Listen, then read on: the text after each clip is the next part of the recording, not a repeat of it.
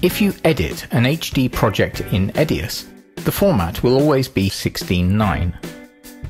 If you add older 4.3 material to a project, black sidebars will be displayed on the left and right side in the preview window.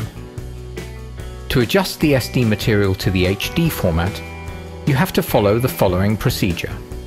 Open the Layouter or press F7. Here, you can select the stretch function to adjust the image in width. You must however remember to retain the aspect ratio.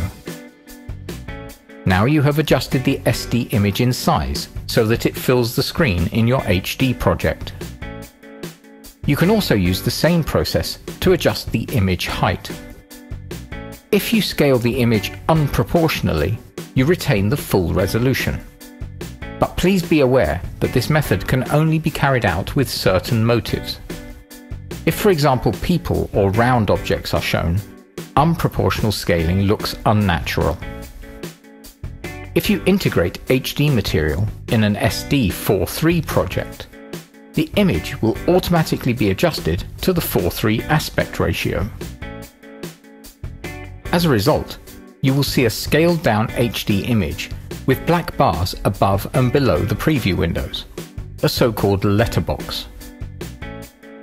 To integrate an HD image optimally in your 4.3 project, you should do the following.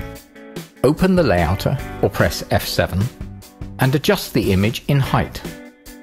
Edius scales the HD image proportionally. You can then move the image sideways and adjust the image selection.